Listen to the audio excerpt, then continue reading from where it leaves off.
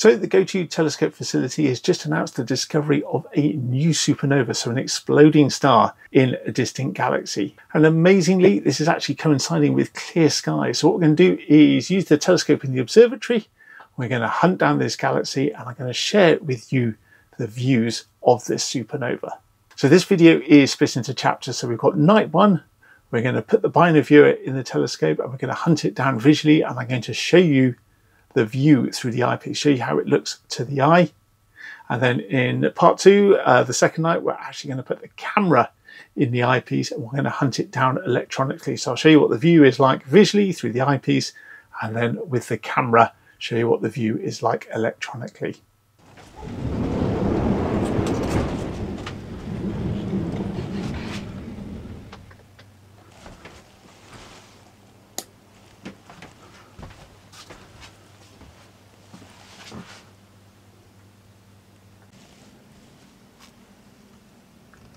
So as we get the telescope ready, we've got to do a three star alignment. So the telescope is going to point at three different stars in the night sky. I'm going to get them centered in the eyepiece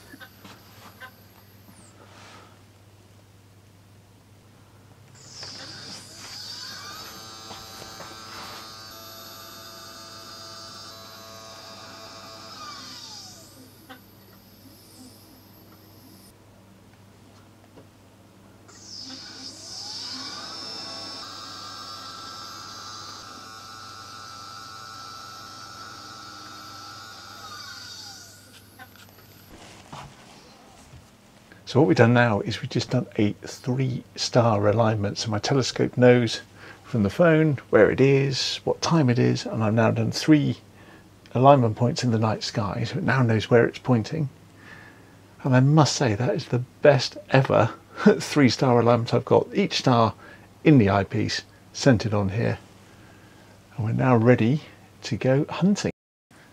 So this has got to be my favorite time of the day. We've got this beautiful summer's evening sky. I've already seen a few Perseids while I've been setting up and doing the star alignment. So we have the square of Pegasus over here. And then from this star to this star, somewhere up there, is a galaxy. Now you can see the galaxy with this telescope, you can see it with the small telescope.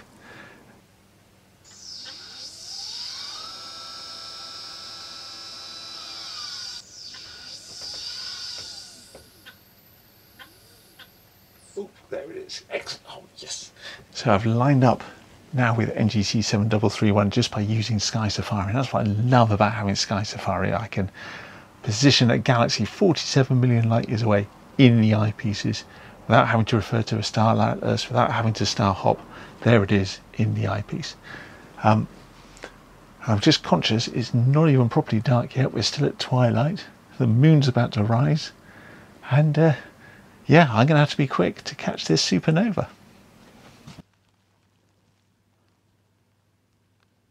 What we've got in the field of view is a misty patch of nebulosity, the misty outline of the galaxy. It's inclined at an angle across the field of view. I've got a few what we call sort of field stars, field stars in the field of view. That misty outline, ghostly glow of a galaxy and in the centre of that is a brighter nucleus. You've got the brighter core of the galaxy. And just alongside that is a sort of an equivalent brightness star. And that star is actually a supernova inside another galaxy. It's amazing to be thinking, I've actually seen this live. And then, of course, you remember the galaxy's at 47 million light years away, so that light's actually been travelling for 47 million years. So those photons were created in the supernova, they've travelled across all those depths of space and time, come through the telescope, and are now inside my eye. Unfortunately, now, as I feared, the moon's come up and the whole sky, the whole sort of eastern sky, is completely washed out. I could almost see the sort of the sort of brightness of the galaxy dropping away as the moon came up. The moon just washed out the entire sky. Wow, what a beautiful, beautiful session. I could see the Milky Way, see this galaxy, see the supernova. I can actually now see Saturn has just risen as well. So Saturn's just climbing above the tree line. So as the moon's up, the moon's now too bright uh, to observe anything else, but it's still too low to observe itself. So I think with work tomorrow, I'm going to call it a night. We'll try again tomorrow night. We should get an extra hour. Uh, the moon will rise an extra hour later. So we should get a bit more time tomorrow night. So hello and welcome back to the observatory. We've got another clear night. It's not often we get to say that in England. So what we're going to do tonight is we're going to go and find that galaxy again, NGC 7331. And this time I'm going to put a camera in the telescope, probably in the small telescope. Uh, and then we can I can bring you that live view, or as live as the camera can see it. And then we'll catch that supernova and I'll be able to show you firsthand how the supernova looks in the galaxy. And you can then compare that with the sketch I've already got of it. So we'll have the camera view and the eyepiece view. So after what's been about 20 minutes of faffing, of pure and simple faffing, uh, I've got the telescope working, I've got the software working, I've got SharpCap up on this screen, and we're actually looking at Polaris. And if you look carefully at Polaris, and you can actually see this through the telescope as well, see it with the eye, Polaris is actually a double star. It's two stars physically orbiting each other. Uh, one much larger, which is obviously the alpha star, the primary star, and then you've got the tiny little secondary as well. So quite a cool way to start the night. So we've lined up, I've checked the focus. Uh, so there is our view of Polaris with the secondary, with its secondary star. And then I have my Bahtinov mask, my focusing mask that I 3D printed. Let's put that on like so. Yeah, we're pretty well focused. Maybe a smidge down. There we go. Right, so that looks pretty well focused to me. So I'm using the controls in SharpCap. So we will get the go to thingy up and we want to go to full catalog. First time I've used this, I may be doing this wrong. 7331 Galaxy uh, select target and start.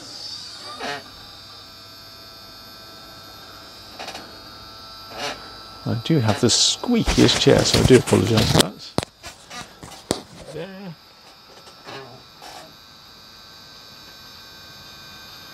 Always keep a nervous eye on cables. When the telescope is slewing move you out of the way. Let's leave you there actually. So, waiting for the mat to settle. Done the plate solve. in theory then.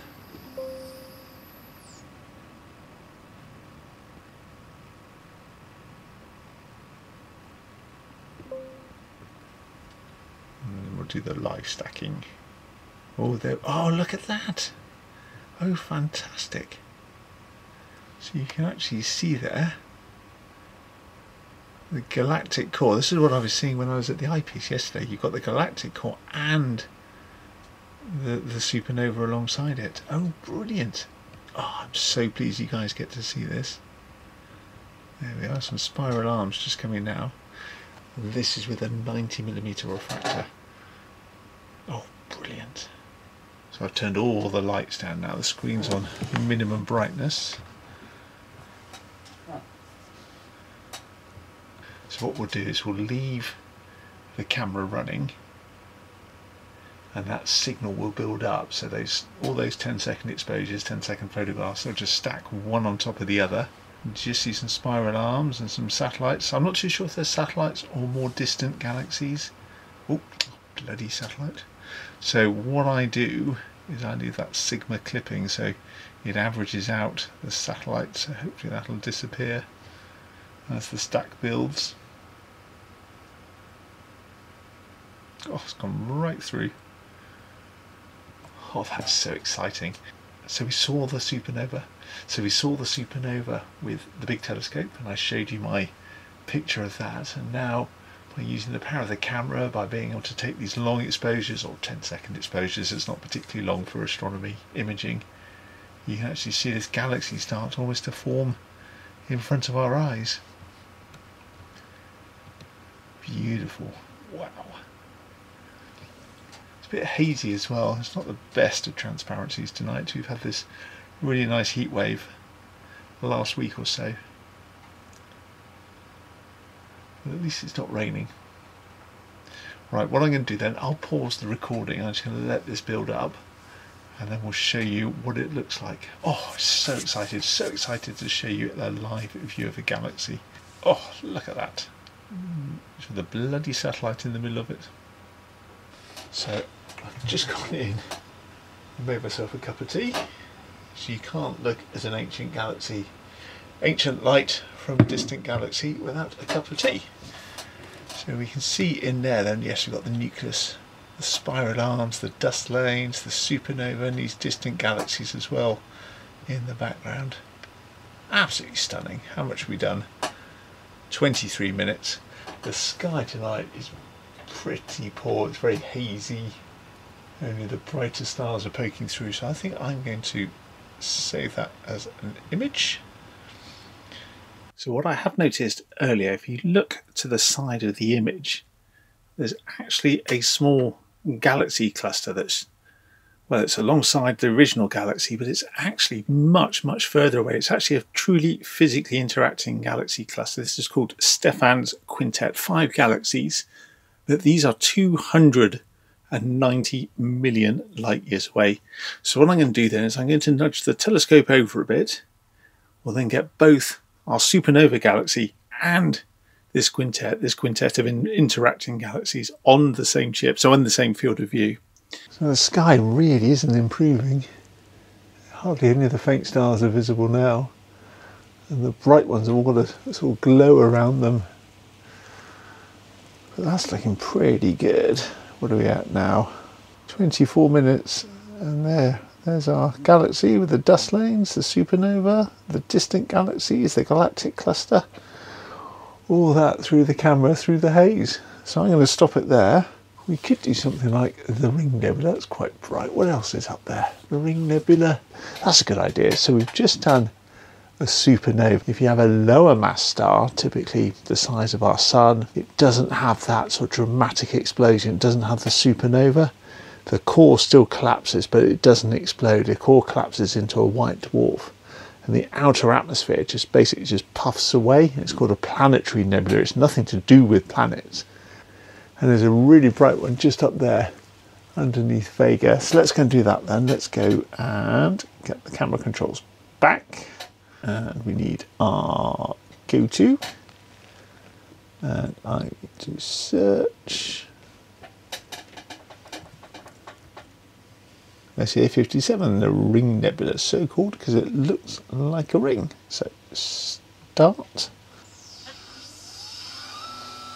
And this will be quite interesting because, say, you've got a supernova and a planetary nebula, and they're both stars that have come to the end of their life, but very different effects.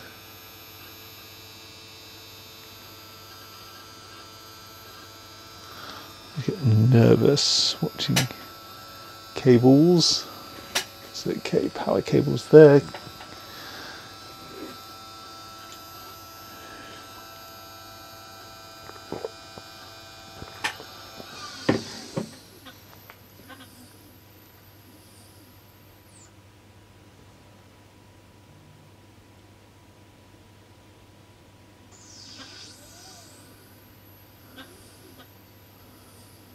I can't help but thinking as well that it's wonderful to be able to use the camera and the laptop, but it's like an extra thing to do. It's an extra bit of kit to manage. It is quite nice just being able to look through the eyepieces. Of course, you don't get the sort of resolution, that sort of ability to pick out all the detail, but there is something quite pleasing about seeing this stuff for yourself.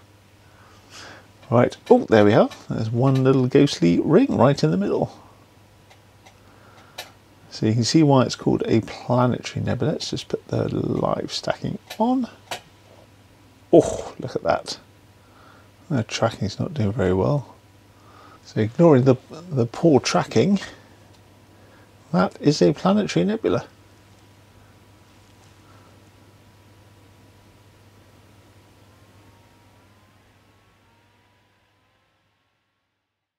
So good morning, it's now tomorrow morning. I'm looking at the, well, one at the sketch I've done and also of the live stack, the pictures we took through the through the camera. And even though it was a hazy night, I must admit I still get a thrill out of this. I've seen a supernova, I've got those photons uh, in my eye.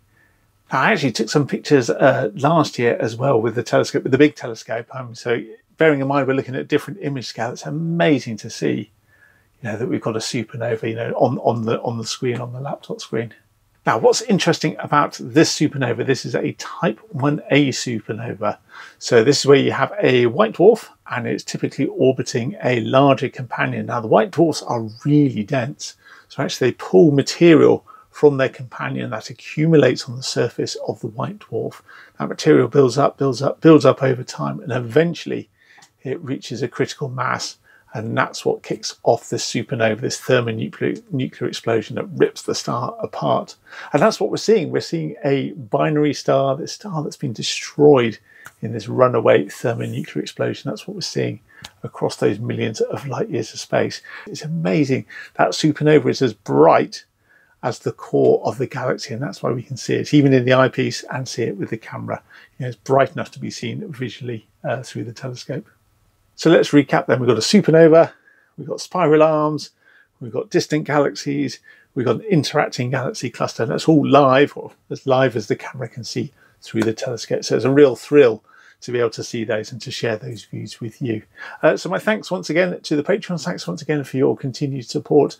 And I look forward to bringing you more videos as we explore the night sky.